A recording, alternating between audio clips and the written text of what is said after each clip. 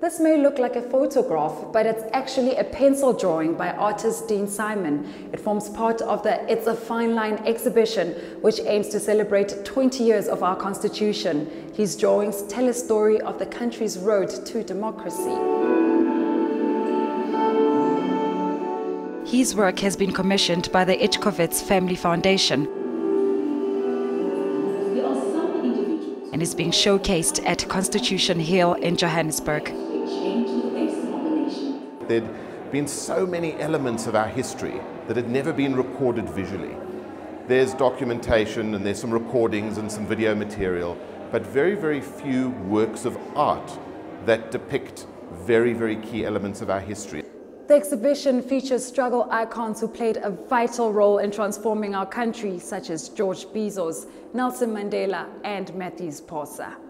Pictures tell a story better than many words.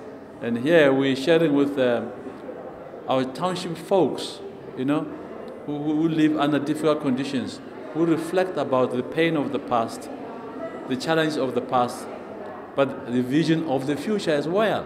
I'm just one uh, little picture in there of some of the people who helped write the Constitution. Constitution has been under attack. With the hashtag I am Constitution, exhibitors hope to educate the youth on the significance of the Constitution and politics in the country. I'm not so happy with the government.